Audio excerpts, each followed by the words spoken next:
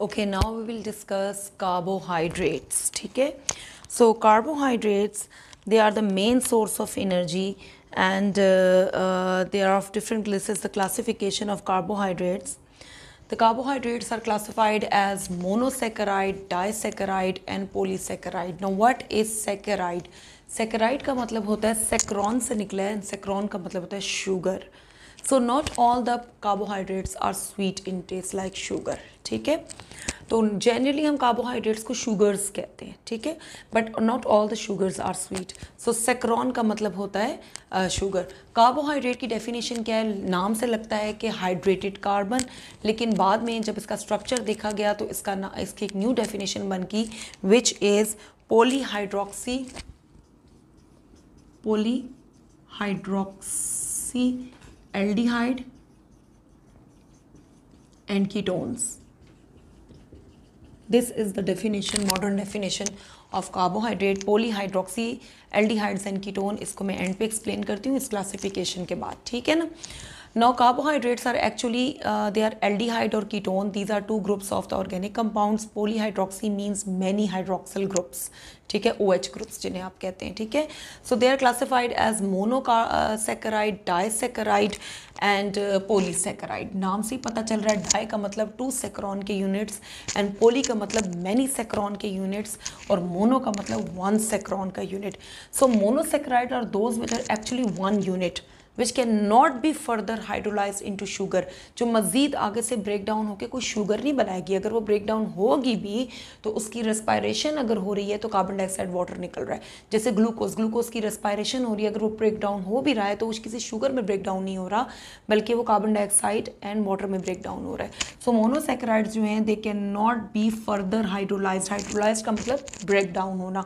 Water की presence में जो चीज़ ब्रेक डाउन होती है, हम उसे हाइड्रोलिसिस कहते हैं। वाटर की एडिशन से एडिशन ऑफ़ वाटर से जब ब्रेक डाउन किसी मॉलिक्यूल की होती है इनटू सिंपल मोनोमर तो हम उसे हाइड्रोलिसिस कहते हैं, ठीक है? कैन नॉट बी ठीक है कैन नॉट बी हाइड्रोलाइज तो ये फर्दर हाइड्रोलाइज नहीं होते, ये खुद सिंपल शुगर्स हैं।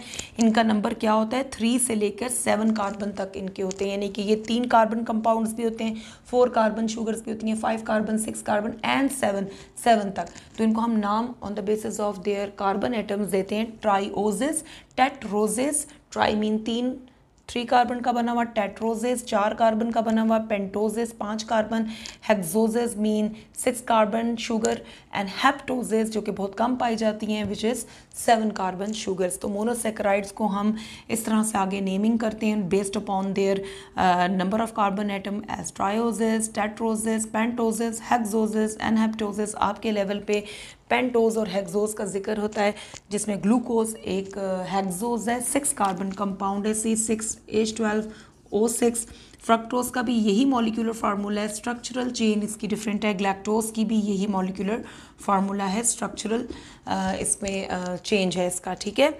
और राइबोज का क्या फार्मूला है? सी फाइव एच आ जाता है, जनाब टेन, और ओ फाइव आ जाता है। ठीक है? ये राइबोस का फार्मूला है। अगर हम कार्बोहाइड्रेट का जनरल फार्मूला देखें तो वो बनता है C X H two O whole Y ठीक है? ये ये इसका जनरल फार्मूला बनता है। ठीक? अच्छा। वाई है या यहाँ एक्स है? वाई ही होता है, ठहरो। एक सेकंड टीचर भी भूल जाती हैं भाई कभी कभी चलें, बात करते हैं, आगे की बात करते हैं। हम्म। हाँ बिल्कुल ठीक है। हाँ सही है बाय सही? Monosaccharide can not be hydrolyse okay ये सारा आ गया। These are the examples of monosaccharides monosaccharides की प्रॉपर्टीज़ की बात करें तो they are simple sugar crystalline solids की फॉर्म में होते हैं। They are very soluble in water they are sweet in taste and they can not be further hydrolyse ये इनकी प्रॉपर्टीज़ uh, आ जाती हैं। और when these monosaccharide they dissolve in water they adapt ring structure एक खास किस्म का रिंग स्ट्रक्चर ये बना लेती हैं ठीक है? सो so, इनकी प्रॉपर्टीज़ हमने कहा they are crystalline solid uh, very soluble in water and uh, when they dissolve in water they form a ring structure इनकी straight chain ring structure में बन जाती हैं so इनकी solubility भी ज़्यादा है they are very sweet in taste now उसके बाद आ जाता है disaccharides disaccharides are made up of two di mean two two monosaccharides दो मोनोसेक्राइड से मिलके बनते हैं, ठीक है? They can they can be hydrolysed into simple sugar यानी कि जब ये ब्रेक डाउन होंगे तो ये दो मोनोसेक्राइड्स बनाएँगे, ठीक है? अच्छा जैसे for example disaccharide sucrose sucrose is a disaccharide maltose is a disaccharide lactose is a disaccharide they are made up of glucose and fructose जब ज्वाइन करते हैं कंडेंसेशन होती है वाटर मॉलिक्यूल की रिमूवल होती है एज अ रिज़ल्ट इन दोनों के मॉलिक्यूल्स जुड़ जाते हैं और ये क्या बना देते हैं? सक्रोज बना देते हैं। इसी तरह एक ग्लूकोज, दूसरे ग्लूकोज से जब बॉन्डिंग करता है तो वाटर मॉलिक्यूल रिलीज़ होता है और इन दोनों के दरमियान जब बॉन्ड बन जाती है तो ये बन जाता है एक डायसेक्राइड माल्टोज इसी तरह ग्लैक्टोज जब ग्लूकोज के साथ ज्वाइन करता है तो इनके दरमियान में जो बॉन्ड बनती है, उससे बन जाता है एक डायसेक्राइड लैक्टोज ठीक है, जो मिल्क शुगर है। और वाटर मॉलिक्यूल रिलीज़ होता है। सक्रोज जो होता है, जिसको आप घरों में इस्तेमाल करते हैं, चीनी, ठीक है? शुगर जो आप घरों में इस्तेमाल कर होते हैं, चीनी it is made up of glucose and fructose maltose जो है कि इंटरमीडिएट शुगर है, जब हम कभी बारले के सीड्स को हम सो करते हैं, उसकी जर्मिनेशन कराते हैं, उसी के सेंटर में ये बनती है माल्ट शुगर बनती है, ठीक है? और इसको वहाँ से हम एक्सट्रैक्ट कर लेते हैं, बाद में ये कन्वर्ट हो जाती है अल्कोहल वगैरह जब इसकी फर्मेंटेशन करी जाती है, ठीक है? तो ग्लूकोज और ग्लूकोज मिलके माल्टोज बनाता है which is an intermediate sugar और ग्लैक्टोज और ग्लूकोज जब मिलते हैं तो लैक्टोज बनाते हैं। ऐसी शुगर जो मिल्क में प्रेजेंट होती है, उसको हम लैक्टोज कहते हैं। इनकी physical chemical sorry physical properties की हम बात करें they are crystalline solid but they are less soluble in water they have they are less sweet they can be hydrolyse ये फर्दर हाइड्रोलाइज हो सकते हैं, ठीक है? अच्छा थर्ड आ जाते हैं पोलीसेकराइड्स आ जाते हैं।